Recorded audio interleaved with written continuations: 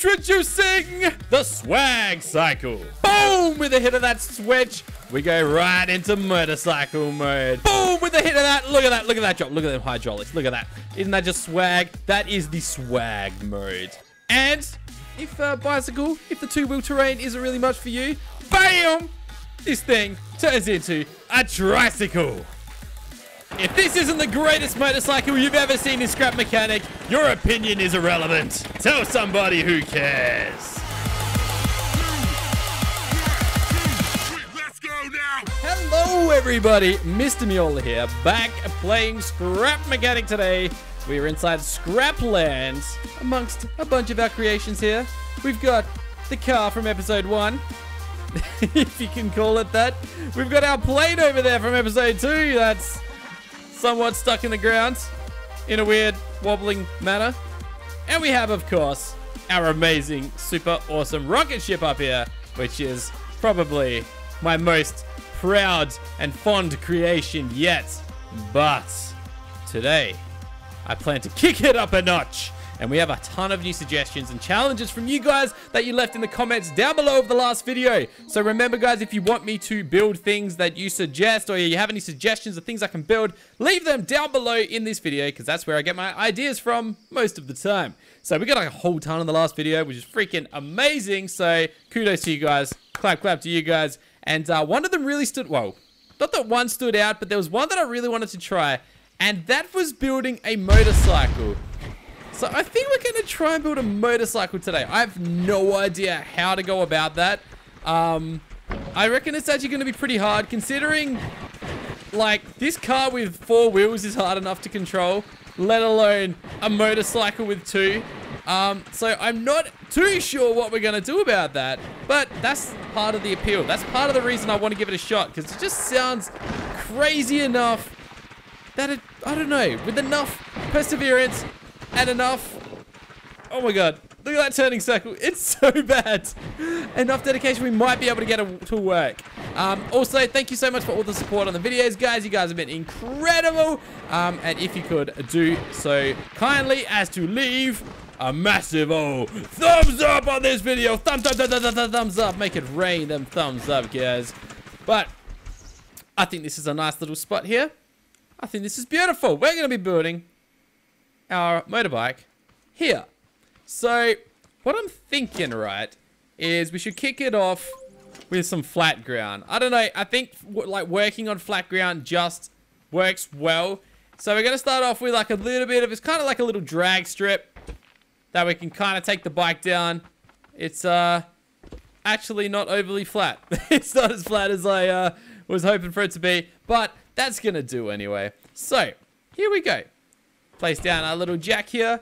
Now, what do we even start something like this with? I'm thinking that, like, wheel-wise, we're going to be using big wheels. I'm thinking, like, one big one at the front, one at the back. I reckon that'll be the best way to go. Uh, it's going to be kind of like a little hot rod, like, low rider type of thing. Uh, blocks, right? So, it's going to be kind of like a longish vehicle. Um, I'm thinking we may need to build this out of... Which, which of these blocks? Let's just build it out of concrete. Concrete? Definitely not metal. Metal is just too heavy. Unless we, we can actually do this out of metal because it doesn't need to leave the ground. So I was just having a bit of a brainstorm and I'm kind of don't even know where to start with this thing. It's actually a little more complicated than I originally thought, right? I know we're going to need some like weird looking blocks and stuff. We're going to need uh, bearings and we're going to need a bit of suspension. I just don't know how to go about where to put it and stuff. So, we've got a sort of body going. If we, let's face it that way there, right? So we've got like a seat. The seat is just so big and bulky, right? Where to next? You kind of want to have a big wheel kind of like out the front in this sort of direction. What am I even doing? Can I rotate this? Like you kind of want to have it out the front there. Why can't I like Ugh. Put this on, put this on, put this on. There we go. Okay. So you kind of want to have, if, if we're going with big wheel, or should we go with just small wheel? We can also just go with the small wheel. The small wheel is possible. The small wheel probably makes more sense, in fact. You can also go a big wheel at the back if you really want to as well. That's the thing. There's a lot of things to like consider with something like this. Let's go uh, that there and bring this back. Like, if you were to go with something like that, I like that's kind of like a pretty cool shape. But is this big and like is it thin enough to kind of keep it balanced, or would you want to go more like wider, if that makes sense? Would you want to go more like double out here, bring this out? Wrong wheel. Big wheel there, big wheel there. Like, is that still a motorbike? Because that can sort of be classed as one wheel, and I reckon it looks pretty badass. So, like, you lose that. And it sits up. Obviously, there's no motor on it right now, so this thing ain't gonna move. But I think this sort of design has potential.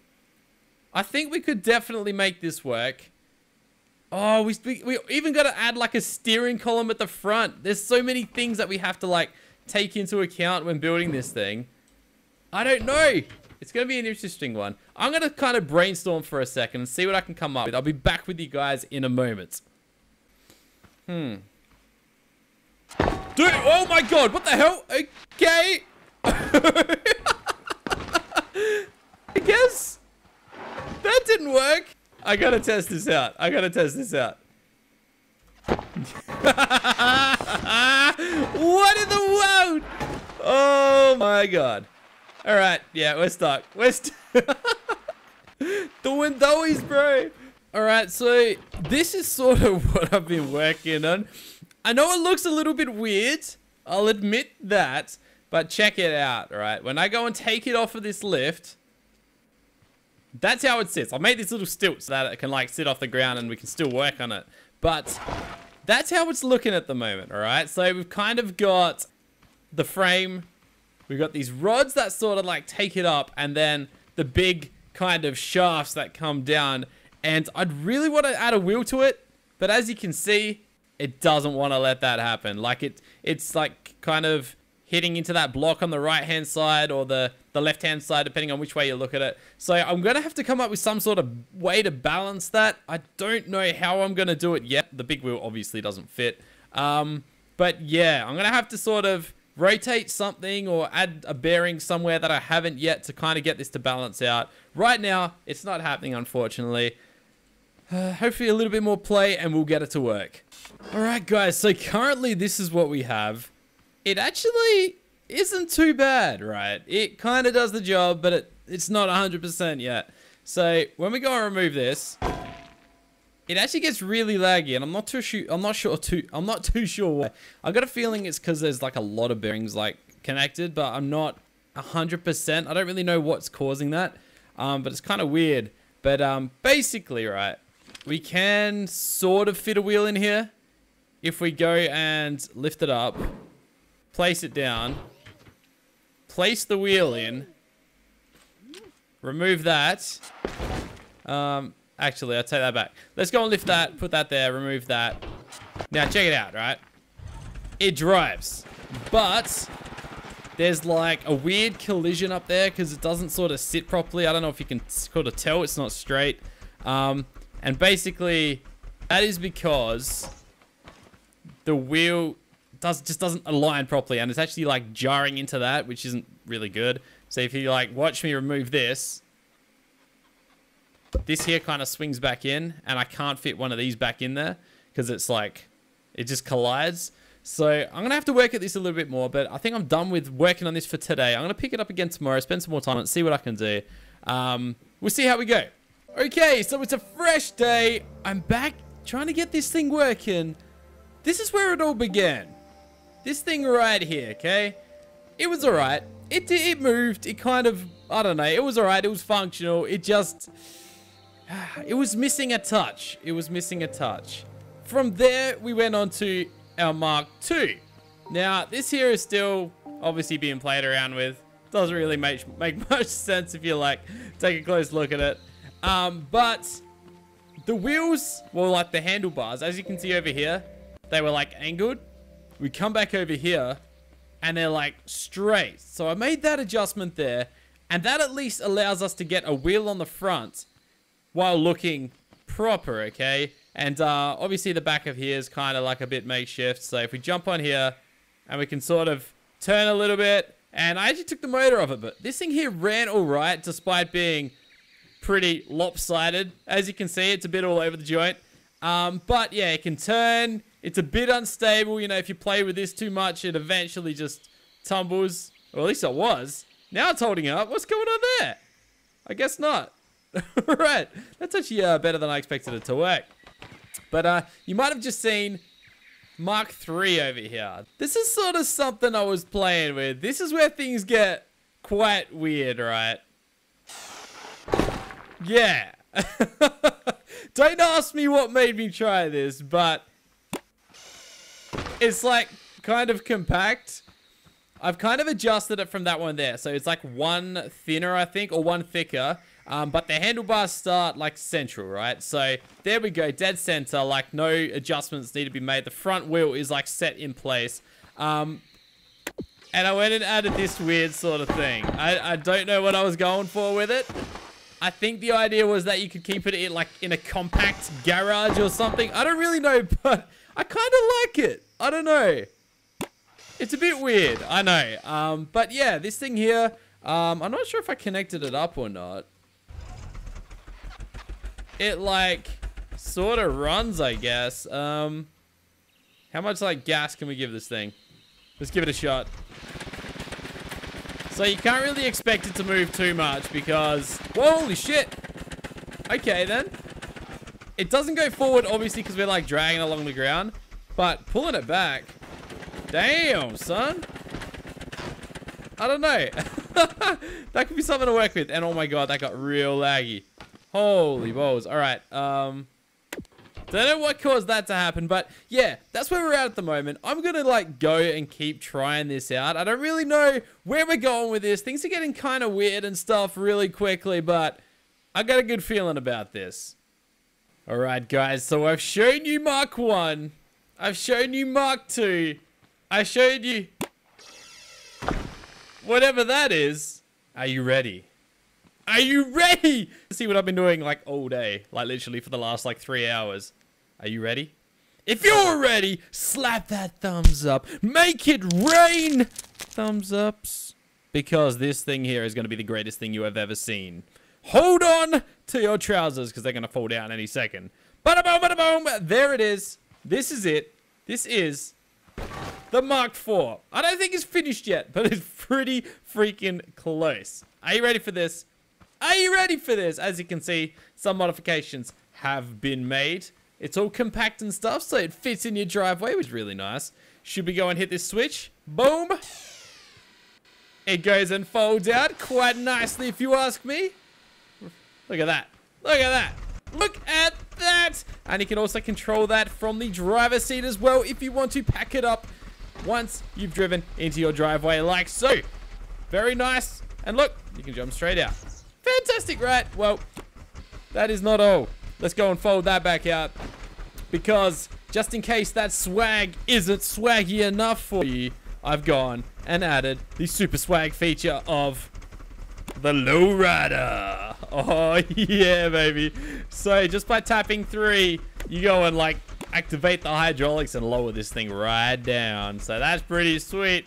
And, um, well, if that ain't swaggy enough, it also has tricycle modes. And these things here spread out to give us three separate tricycle wheels. Now, I was actually going for something completely different.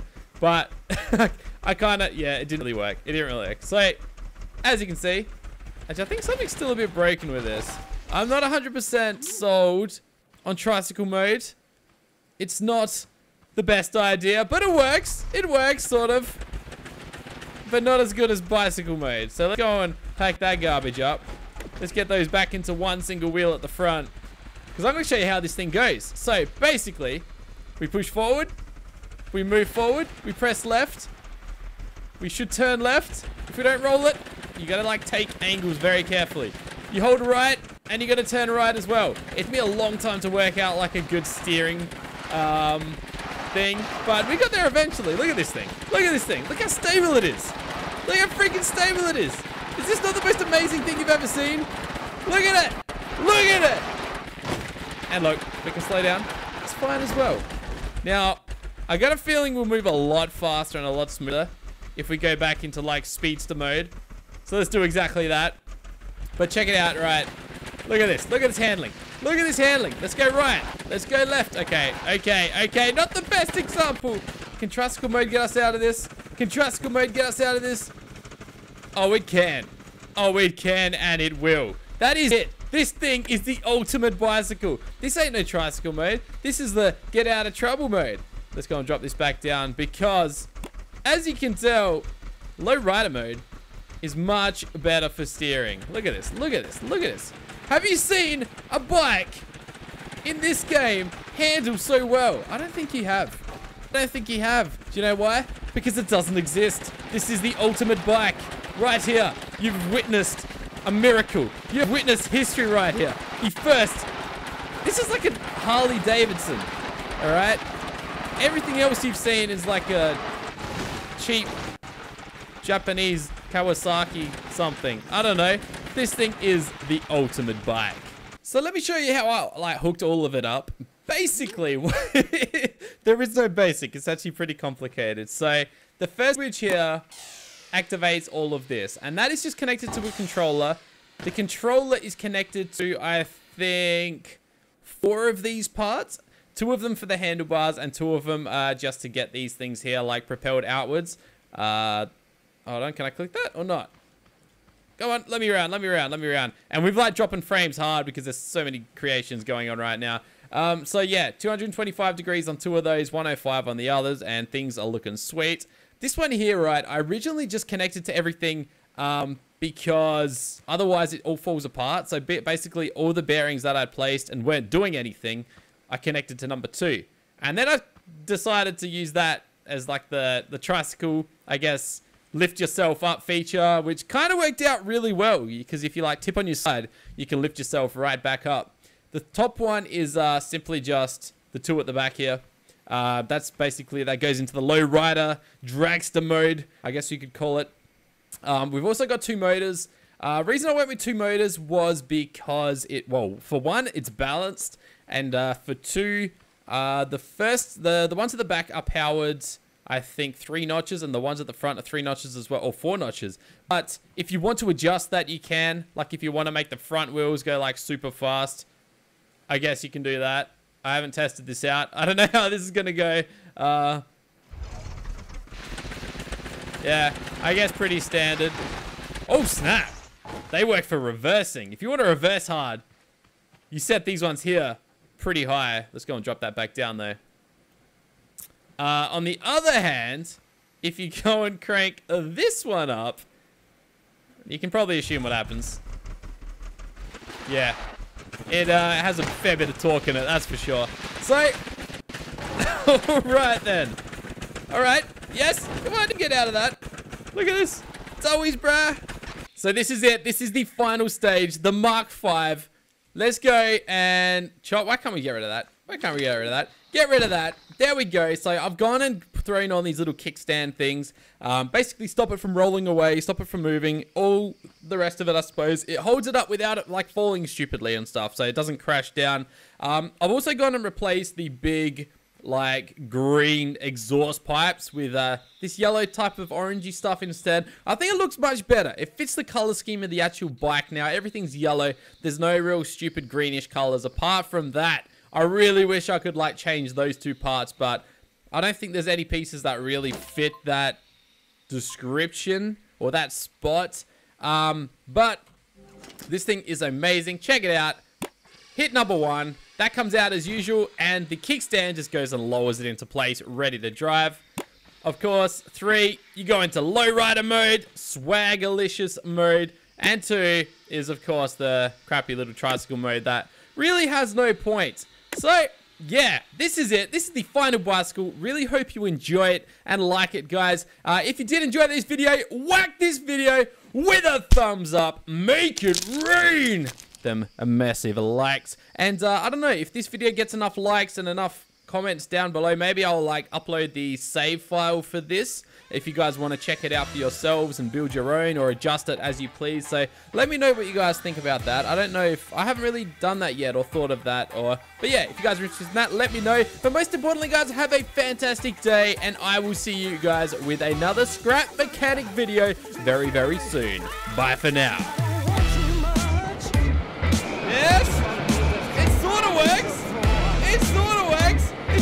Control. I don't know what's happening. Oh, snap. Oh, snap.